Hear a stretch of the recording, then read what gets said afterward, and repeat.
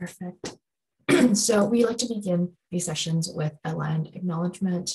Um, Code for Canada is headquartered in the traditional shared territory of many nations, including the Huron-Wendat, the Seneca, the Anishinaabe, the Chippewa, the Haudenosaunee, and the Mississaugas of the Credit River.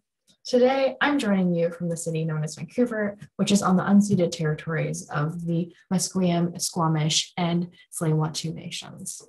The land we live on is still home to many diverse First Nations, Inuit, and Métis peoples from across Turtle Island. I want to share my gratitude for the ancestors who've cared for this land for a long time before me. This acknowledgement is also a reminder of the discriminatory, racist, and colonial practices that have been a lasting legacy and continue to create barriers for Indigenous peoples and communities in our city. I invite us all to ask ourselves, how can we turn our recognition into action and become partners in caring for recognizing Indigenous contributions and committing to engaging in decolonizing practices? If you're not familiar with the history of the land you're on, I encourage you to get curious. This is from a website called native-land.ca, or there's an app called Whose Land developed by a Haudenosaunee developer. Next, um, as people trickle in, I would love to hear a bit about who's in the room. So with virtual events, it's hard to feel that connection to everyone else who's joining you, but we're really thankful for the time you've taken out of your day to, to spend with us. Um, happy to share a little icebreaker with everyone. So I invite everyone to, in the chat to share your name, you know, where you're joining us from. You could share a land connection um, and a land acknowledgement of where you're coming in from um, and something that's bringing you joy lately. So I'm Jennifer. I'm the communications coordinator at Code for Canada. And something that's bringing me joy lately is being able to visit my family again and pet my dog.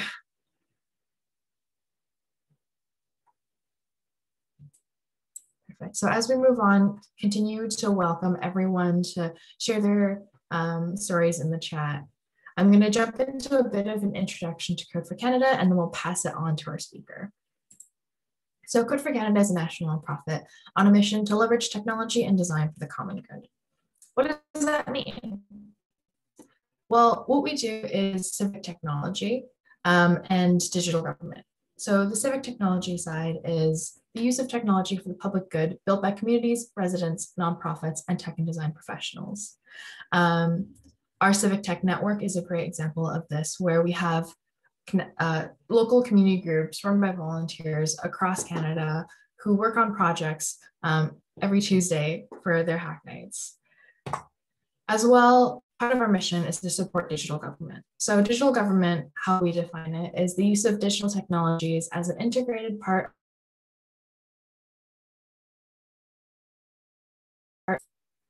uh, to create public value. Sorry about that. Um, this basically means we support governments in their journey to become more digital and provide services that meet resident needs. So our programs enable governments to deliver better digital services and empower communities to solve civic challenges by connecting residents, government innovators, and civic technologists to work together to build a better nation. So we have a couple programs that help facilitate this. Our big program is the fellowship. It's a nine, uh, 10 month program that connects tech and design professionals, embed them into government departments where they work on a project together. As well, we have our Civic Tech Community Network, which is a network of local organizations run by volunteers um, who work independently to solve challenges connected to their local city. We have an education program where we provide trainings, and uh, educational resources to public servants on how to work in a more digital way. As well, we have a usability testing service called GRIT. Um, it's a service where we connect creators of technology, public-facing technologies with residents um, and often underserved populations to test technology products. And lastly, we have Civic Hall Toronto. Uh, we're actually in the process of redesigning this to expand it more nationally. Um, we connect local governments with civic and tech professionals to help them uh, in the local government journey. Um, and this is just the beginning. So if you're interested in learning more, I encourage you to reach out to our partnerships at codefor.ca to learn about a bit more about what Code for Canada can offer. Uh, with that, that's my introduction. So I'm happy to pass it off to Andrew. Awesome. Hi all. I uh, I recognize a few names in here, so that's that's pretty cool. Hi, Steve. Um, yeah, so uh, I'm going to be talking today about this idea of designing trust relationships in research. Um, and this is actually like tied in a little bit to a project that I've created myself um, called Knowsi. Uh, so there, there will be, you know, a slight kind of pitch for that. Uh, don't feel like you need to use it in any way, shape, or form, but you know, just a, a forewarning that that's coming. Um, but yeah, I'll uh, I'll just give a quick intro and then we can dive in. Um, so the overall plan for today is to, you know, introduction to myself. We've been partially through the introduction already We're for Code for Canada. We'll be talking about designing participant experiences and ways of approaching that, things to consider and similar. Um, and those of you who have a service design background, this will, I think, actually be quite familiar to you. Uh, and then I'll give a quick introduction to Knowsi and we'll have time for Q&A later. I think there's like a, there's a, a question form um, that everybody can submit things to, which I don't actually know how to access. So that'll we'll we'll figure out uh, figure that one out. I'll put it in the chat where everyone can can submit their questions. Sweet. Um, awesome. So this is me uh, about a year ago before COVID. I look so happy. Um, and this is my son, Emil, uh, who is not here, but he may barge in at some point. So if uh, another speaker joins, there may just be a very quick interruption. Um, I am originally from Toronto, but I'm currently based in Copenhagen. Um, and I've kind of been all over the place. Uh, I was with IDEO for a little while. I was with the US Digital Service at the Department of Defense, um, which was super interesting and also super stressful, as I'm sure many of you uh, civic, civic tech folk can uh, commiserate with. Um, after that, I was with New America. I've done some work with CIID and uh, currently run my own consultancy where I work with a bunch of different folk from Mozilla, IKEA, Opentrons, uh, which is a lab robotics company, all that kind of stuff. Um, you can contact me at any time, and I'll also provide some additional kind of contact information, office hours stuff at the end of the presentation, uh, if that's of interest. Um, okay, so very, very quick intro to Knowsi. Uh, Knowsi is an informed consent platform that I developed uh, basically after going through countless design research trips and always, always having problems and challenges with uh, with informed consent. Um, keeping track of the forms and making sure that they were filed, making sure that we had some strong mechanisms to keep in contact uh, with our participants. And so Knowsi is a platform that makes this a little bit easier, and we will talk a little bit more about that uh, after the meat of the conversation, which is the designing participant experience. These are some puffins, which are beautiful. Um, so research participants have more rights and greater anxieties than ever before. Um, and this is kind of coming at us from two different angles. One, there's increasingly, and, and this is a good thing, um, increasingly strong legislation out there that are protecting uh, participant rights and um, user rights when it comes to personal privacy. Uh, the GDPR is the one that you like most people know about, but there's also different legislation, for example, in Canada around PIPEDA, in California with the CCPA. Um, and it's likely that we're going to be seeing some good privacy legislation coming out of the Biden administration in the United States as well, where there currently isn't a strong sort of like privacy basis. Uh, yeah, th there's not a strong privacy basis for um, on the federal level. And so when you're doing research with folk, you need to make sure that you are respecting their rights, both from a legal perspective, but also from an anxiety perspective. Folk are they're increasingly aware that they're basically being tracked, that their data is being exposed. And so we're constantly reminded of this every time we sign up for something with terms of service. We see it constantly with cookie reminders um, for, for different applications that we might be accessing.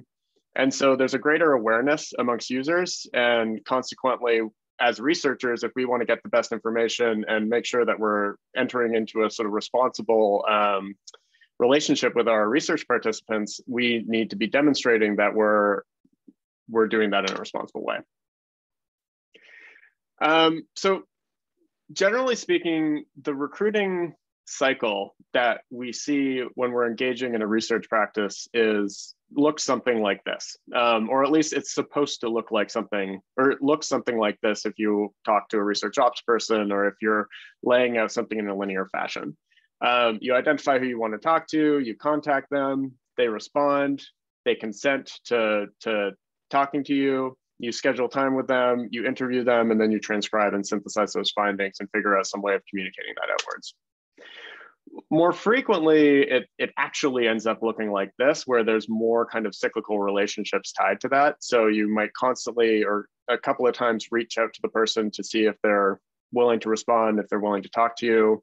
Um, you might need to remind them that they need to fill out the consent form or for that matter they may uh, be asking if that's something that you have which isn't always the case unfortunately working with them with scheduling and then doing follow-up interviews afterwards. Um, and this is something I've recently experienced where I've actually recontacted uh, uh, interpretive interview participant several times because the, the information that we found from him is so valuable that we need to keep keep adding dimensionality to it.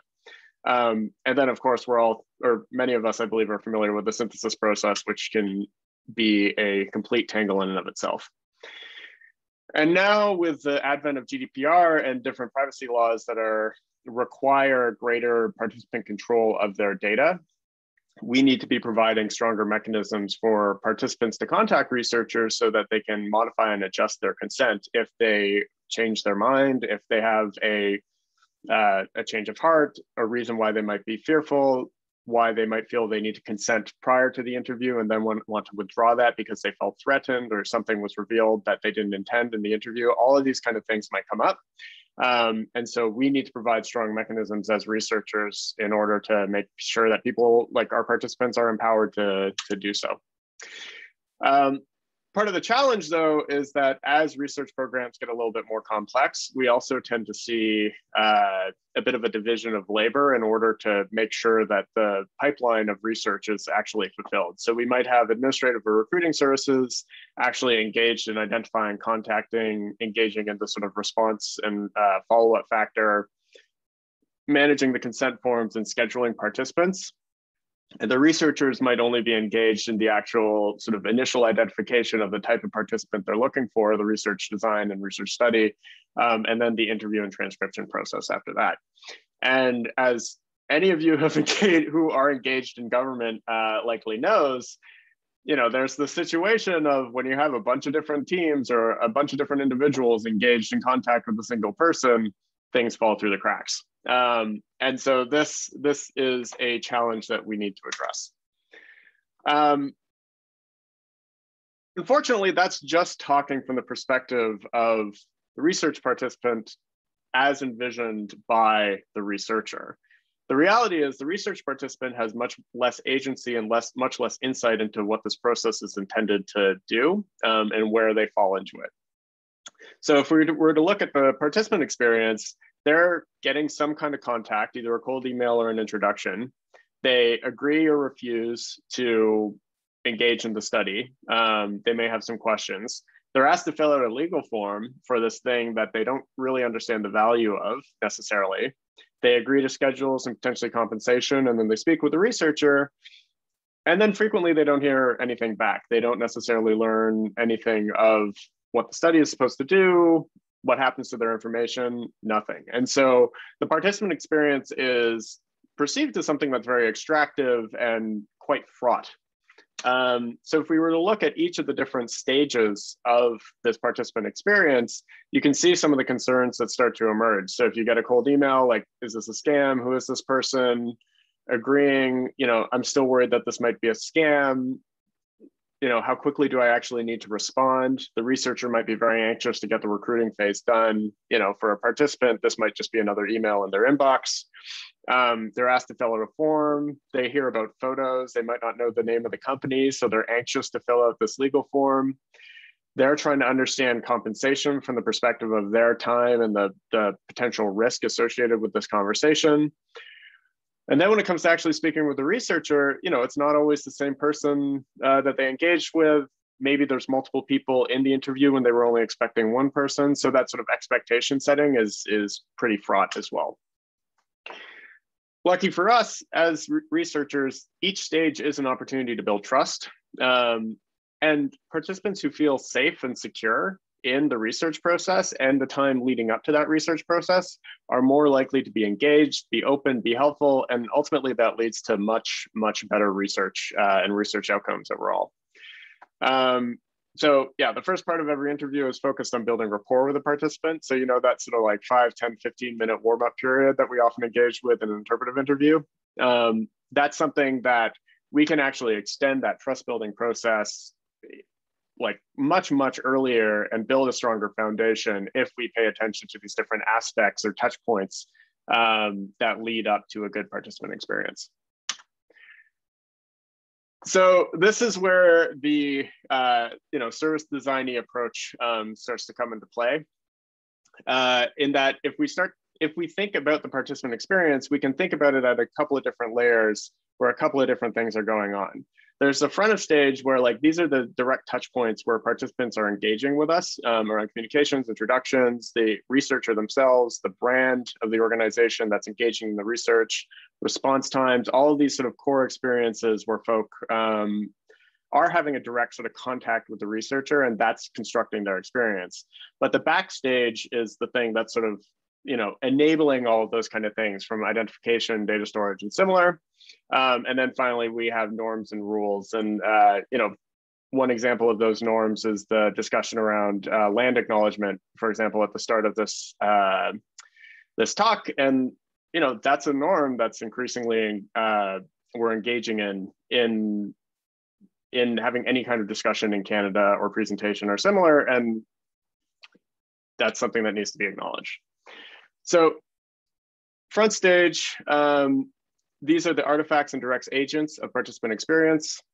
You know, there's obvious parts like clear forms, friendly researchers, and safe environs that create a good participant experience. But the less obvious ones tend to be quick response times, obvious mechanisms for feedback, and the brand identity of the research team. Um, I can say at IDEO, it was incredibly easy, uh, generally speaking, to have conversations with experts, to reach out to different folk who um, you know, as an independent consultant, it's a little bit more difficult to reach out to some of these individuals because they might not recognize the brand and not sort of immediately understand some kind of transactional benefit from uh, having a conversation. The infrastructure experience, uh, so yeah, the infrastructure of the experience, success at this stage relies on coordinating the backstage team and the infrastructure. This can get to data storage, so making sure consent forms are actually stored in a consistent place potentially using a service like Knowsi. Um, the staffing and experience of your research ops team. So how familiar are they with this process? How willing are they to engage in some of the complexity that an individual participant might have? And then what's the project budget? That also has an impact on the experience that participants have because if you have a greater budget, then you can spend more time focusing on these individual pieces and then the actual system of that experience. And these tend to be the norms and rules that dictate how we need to structure and design our individual participant experiences. Um, so data privacy legislation is a big one. Um, here in Europe, the GDPR is that sort of dominant uh, force, and there's certain things that you need to adhere to. Um, including the ability to withdraw consent, being very clear about individual cases where consent is given, not having a generalized consent form, but rather creating consent forms that are specific to the type of research that you're doing at that point, um, and making sure that uh, consent can be withdrawn as easily as it is given. Um, so those are some of the norms or legal norms that we then need to design our research operations around. Um, and ultimately, when participants see those things, they tend to feel more comfortable uh, in in actually providing truthful and meaningful and deep information, which gives us better results. Um, unfortunately, each project is a little bit of a different different exercise. Um, so, you know, if you're working with people in the medical field, in the States, you have to go through HIPAA. Um, there's different European um, regulations around specifically how you might engage in uh, in that research and you know you need to you need to go through and take the time to actually design that individual experience before you're going into designing the overall uh, research as well. Um, however, there are some best practices and useful tools that we will take a quick look at.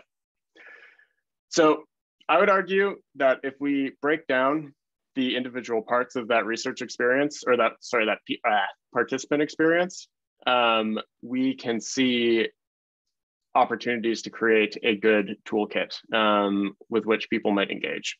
And so clear communication, simple consent, centralized scheduling, and developing rapport, these are all individual points within uh, the participant experience and the participant journey that we can develop interventions into specifically. So from the perspective of clear first communication, this is very much the sort of like front stage, backstage, and uh, norm building side as an aside. So we'll go through sort of each of these toolkits from that perspective. Um, so the artifact that starts most people's experience is an email or a phone call for actually recruiting them. You may have spent a ton of time thinking about who it is that you want to recruit, how you want to bring them into the process, designing the uh, the moderator's guide, all of these kind of things. But from the perspective of the participant, this is the first time they're actually engaging in the research process. And so they're going to be curious and, and want to understand more. Um, so you need to provide a clear introduction with context, speak to some explicit reason as to why they're being contacted over somebody else, um, and set expectations about what will come next. This really sort of forms the core of uh, their first experience with you. And this is just an example of like a cold reach out email. Um, that I, I wrote as an example for a, a post, which I'll share later. Um, and then on the backstage side, there's certain things that you can do to improve this experience and make it easier as well. So having ready to go email templates means that you can react faster um, when participants respond. This is really critical because the response time is ultimately part of their experience. So if you're quick to respond, they're going to be more uh, more willing to trust your capacity to engage with them. Um, establishing why you should be trusted trusted by referencing affiliations, having public content, and all of that is also a really good uh, way to go about it. I've often found that if I send out um, you know a survey or a bunch of recruitment emails i'll suddenly have a bunch more hits on my company website um, stupid systems which is a kind of actually a terrible website but it lays out who i am and what i do pretty coherently um, and so people can reference that to just add that sort of degree of social proof um, into it. And then just having all the additional infrastructure that you need ready to go. Um, that can be in terms of doing additional introductions, making sure that you have a quick intake form, making sure you have the scheduling forms ready, all that kind of stuff. Um, it just makes for a better experience overall. And then finally, norms and rules need to be adhered to. Um, communication standards will differ across groups. So for example, the land acknowledgement is uh, a good example of that. Thinking about how your communication comes across um, in terms of the language that you might use, the greetings that you might use, the way that you sign off, all of those kind of things. Um, when I was working in the Department of Defense, there's the sort of V slash R, very respectful or very respectfully that everybody signed off on. And when you include that kind of uh, that and are also conscious of some of the weird weird details and in jokes that are associated with that sign off, it's more likely to be recognized that you are part of a particular group or at least indoctrinated into the culture of that space. Um, and then, and this is actually not super well known, but the core technology stack um, that you use for reaching out can have implications for how you uh, basically whether your emails even get through so making sure that you take the time to check the DMARC score, check the various sort of email score or spam scores that you might have associated with the email address that you're sending out from is quite significant. Um, and I, have seen some some clients of mine have had some difficulty with that in the past. So we ended up sending uh, recruiting emails from my email instead of theirs, uh, which has other implications as well. Um, there's a blog post that I wrote uh, that you can take a look at. It's pretty easy to find anatomy of a research recruitment email. This provides some templates and some easy ways to get started in this. Um, simple consent experiences. Sorry, that was minimized. Um, so front stage, clearly and simply communicate the ask um, around the consent form. Just be very specific about what it is that you need. provide a mechanism to be contacted if there's sort of additional information that they might request. Um, always provide a mechanism to withdraw consent. Uh, this is the case, like this is particularly enshrined in the GDPR, but actually in the Canadian context with the PADA, um, like you also need to provide strong mechanisms to withdraw consent with the exception of like there's certain uh, legal reasons why somebody might not be able to, but um, it's it's a requirement basically in both cases. Um, yeah, and just recognizing that like for some people, the consent form or aspects of that consent form, it, like it really doesn't matter. People will gloss over it very quickly and they won't care. They won't even remember that they signed it. For other people, it can be a complete deal breaker. And so just making sure that you have um, these different pieces all sort of wrapped up.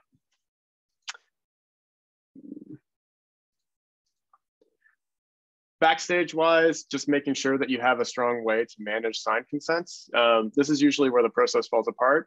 My sort of uh, the the sort of genesis story of Knowsi as a as a platform was uh, my team losing a large number of consent forms. Thankfully, just media release forms, but uh, consent forms and and not being able to use the media that we had taken. Um, on a on a trip in London, which I was very upset about, and that was kind of the most egregious example of it. But um, just generally speaking, I have very very rarely seen uh, organizations that manage consent well, and so this is this is your opportunity to really sign shine.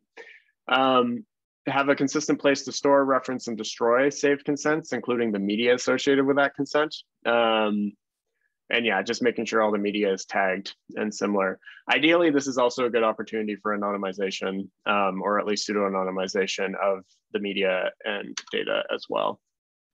And then finally, norms and rules. There's different expectations around photography and audio recording, let alone video, in all different cultures and societies.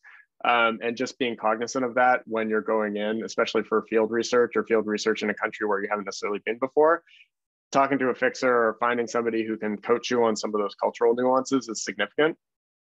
Always, always, always have a backup um, and realize that if you lose that consent, like you can't go ahead and use that data, uh, or you need to reach out and get get that consent again which is an argument for having some of this managed in a digital context. And then understanding regional laws and norms is vital in navigating liability concerns and, and also developing rapport because the person that you might be speaking with may have much greater understanding of what those laws are, or they're more indoctrinated into the norms of consent and privacy so that they might push back. I recommend using Knowsi. That is no longer the homepage for it, but uh, yeah, Knowsi. It's a great app. Um, centralized scheduling is also a very helpful thing to do. Um, simply put, like don't make the participant think. If you can make this super, super easy and not have a back and forth from an email perspective, that's ideally the way to go. Um, always have at least a couple of scheduling options or a tool that can automate scheduling and provide a reminder one to two days before the research session. These are always like these are just fundamentally very good rules to go by. Um, I personally like Calendly. There's a couple of other tools that you can use for uh, doing this kind of scheduling, but just make sure that there's an easy way to do it, and then make sure that you embed some of your boundaries within that. So if you need know that you need to complete your field research in two weeks, then make sure that all the date options are within that two week period, so that there's not necessarily a back and forth associated with that. Um, and that's just part of expectation setting using a centralized tracking solution is generally a good way to go. Um, this is an example of a recruiting sheet that I used for a research project, I think a year or so ago, um, where I was chatting with a bunch of different open source, um, basically like open source support communities. And it was actually a very difficult project to recruit for because you were reaching out to people via their online handles. Um, and so there, the sort of demonstration of that social proof that we were people who were worth talking to uh, was unbelievably challenging. Um, but we, I, we also ended up talking to some pretty, pretty incredible folk. Um, and so this spreadsheet was uh, that initial sort of centralized tracking system that we used to figure out who we were talking to and, and who was the sort of point of contact for that. Um, I think I have this as a template on my site, but I will double check that afterwards.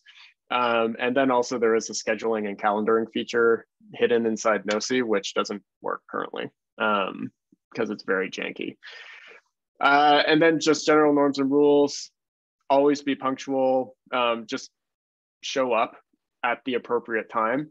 Um, this isn't necessarily, sometimes punctual will mean five or 10 or 15 minutes ahead of time. Sometimes it will mean just on time. Sometimes it is not putting too much pressure on the host, and that's something that you'll need to navigate. Build buffers into your research schedule so that you can get between different places within that sort of understanding of uh, that understanding of what punctuality means for your research participants, giving yourself time to travel, and then just generally be a little bit early so you can suss out and navigate the situation. Um, a particular sort of story from that, which I, I still kick myself about, was we were doing sort of in, in-home interviews and uh, recording sessions, and this person lived at an address where the address was on one street, but the entrance was on another street. And it took some serious like Street View and Google Map navigation to figure out where the hell the entrance to this building was. Um, so be a little bit early. Uh, yeah, and I think that template is at this link. So planning your design research trip, um, as well as just some general tips in and around that. And finally, developing rapport. Um, so paying attention to the individual artifacts of attention are significant. This can be for example, like if you have a recording device, um, always sort of be honest about that recording device, put it out, but also try to make it uh, as subtle as you can. I have one of these guys, which it's like a Sony IC something or other. The audio isn't great, but it's very small, it's unobtrusive. I can indicate it as like a physical object that I'm using to record. It has a light that indicates when it's recording, but it also just fades into the background. And so these kind of artifacts go a long way for creating a sense of confidence um, and trust with the participant. If you have a giant DSLR and you know one of those massive Zoom recording devices, then people will tend to focus on those when they're talking about things that are potentially uh, you know vulnerability inducing or what have you so just thinking about how you design that experience for the participant goes a really long way and also having different artifacts like tools or templates worksheets that you can go through stuff like that it helps a lot um, pay attention to the performance of openness and attention as well. So where is the participant looking? Are they making eye contact? Are they looking around the room? Are they looking down? Are their hands crossed like this? Are they sitting in a more open position? These things can just help you understand where the participant is coming from and understand also how to sort of shift the situation so that they feel more comfortable or or also so you can back off a little bit if you're verging into territory that is maybe not great for them. Um, and then finally always schedule in specific time to build rapport. I generally suggest about 10 to 15 minutes because you can you know do the intro you can talk about where you're coming from you can hear a little bit about their story and where they're coming from and warm up to the cadence of the conversation and then uh, go from there. And you know this is this tends to be the thing that i think researchers practice the most um, but it's still something to to be conscious of um, and to design. I personally always like to write specific interview guides for each group um, that i'm speaking with also sometimes each individual um, so thinking about those different sort of categories that you're you want to talk to and then subdividing from there. This often means writing actually a relatively large number of moderator guides and just sort of cross-referencing which core research questions you're addressing in each guide. Um, but this can help also treat these moderator guides as things that are more checklist than a direct script. Um, the worst experiences are things where it, it feels like you're just going through this rote interview where you're not really connecting with the person that you're talking to. Rather, like allow yourself to dive down rabbit holes with the participant because it's those rabbit holes that tend to be the things that are the most beautiful. Um, and then, you know, as much as you can within the context of the study, iterate on your research guide you can't always do that in the context of say like academic or social science research but you can do that in uh, design research or, or private sector research or for that matter, public sector research because you don't necessarily have that sort of sign off um, tied to it. Uh, so each interview becomes an opportunity to iterate on the quality of the next interview. And then debrief with your team each day uh, to explore what worked and didn't work. And so these kind of practices, both management and documentation wise, can really help improve the uh, experience for participants when it comes to those touch points that we discussed earlier. Um, and then norms and rules, again, be sensitive to cultural norms and needs. Um, I you know, in, in, my case, like I was uh, the only male on a team doing research with Planned Parenthood patients um, who are, you know, mostly women. And being the only guy on that team meant that there were certain situations, certain conversations that I had to be very sensitive around or not participate in. And so just understanding where those pieces come into play uh, is really significant. Um, also looking for things that might be triggering for individuals. Uh, if you're working with veterans or if you're working with uh, folk in the military, certain types of questions, certain uh, lack demonstrations of a lack of understanding or a lack of empathy might be triggering for folk. Um, and that's just the thing that you should try and educate and engage with as much as possible. Um, so yeah, taboo subjects or behaviors within certain groups. Uh, and then always be willing to extend additional privacy to the participant this is fundamentally the thing. The participant is in control of their data, their information, and their privacy ultimately. And you are an agent in sort of ensuring that that's the case. And so, as researchers, you know, because our practice can be quite uh, extractive in nature, um, and it can be the power relationship between participant and researcher is is generally um, out of sync. Then, you know, we're responsible for making sure that the privacy right that participants have is always respected. Um, these are some really good books to take a look at. Uh, Jan Chipchase has a couple of really good ones. Um, Designing Social Inquiry was uh, my my initial qualitative research textbook from the University of Toronto, and I think that one KK, KKV is still sort of making the rounds. Um, all of these are great. Uh, I think Steve Portigal is also on this call. Anything he writes is really good as well, and I highly, highly encourage you to check out Steve's stuff. Um, so yeah, I'll highly recommend all these uh, all these books. So I'm going to talk very quickly about Knowsi. This is a slight spiel, but I'll try to sort of zoom through this relatively quickly so we can do some questions. Um, yeah, we we addressed all of this. This is usually the consent form that you'll find online. This is not acceptable. Um, and it also wouldn't hold up if it were ever challenged by a participant. So that's a that's a thing to keep in mind. You can do research better. Knowsi was meant as a Trojan horse for better privacy practices of research. That was sort of fundamentally the idea that it started with, and it continues to be the idea. Um, this was also the context where, like, uh, I, Knowsi is a solo project. Like, I'm the only person working on it. Um, you know, I I do user research, design research as a as a job uh, as well from a consulting perspective. And so Knowsi as a tool for me was like that. I built the tool for me initially, um, but I also wanted to embed better privacy practices in uh, in the community. Um, so we'll just quickly flip through these screens. You have an organizational context. So Stupid Systems is my company. These are some of the example uh, projects underneath. Each project, you have forms and participants who are part of it. You can generate the forms and create them in any way. It's It uses Markdown right now, but this is going to get redesigned at some point. Um, you can also create uh, translated and multilingual forms.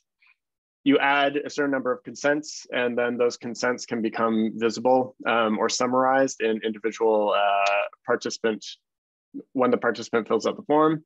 Participants see this, so they can select the language of the form, um, and they see all the sort of core things that you need to include as part of a consent form. Either their information is filled out and they just confirm it, or they can fill it out if you're sending them a, a sort of just a standardized form as part of the process. They can see specifically what it is they need to fill out, and they can switch between legal and plain language uh, from a comprehension perspective. Then they just sign, they follow up with their contact options, um, and they finish. After that, they get a receipt. where they can access the document and change their consents, um, delete their data, contact the researcher, download their consent forms as a PDF, all that kind of stuff.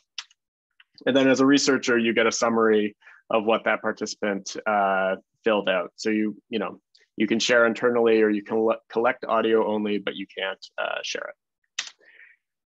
You can try it out, knowsi.com slash join for a free account. Um, and also uh, you can use the code research trust for three months free at the full access level, which gives you different things like unlimited consent uh, or unlimited consent form sent out, the public consent form link, all that kind of stuff. And then finally, thank you for listening to me. Uh, slightly rambly at the beginning, but that I think is just how I start. I start talks, and you know, also with COVID, I haven't been outside in a year and a half, so I'm. It's weird to talk to people, except I can't see anybody. Um, so you can find my writing. I write a weekly newsletter, usually about something design related, um, at andrewlb.com. If you want to do office hours, uh, I have that there. And I, I actually saw a couple of folk who I've already spoken with on this call as well. So hi, Morgan.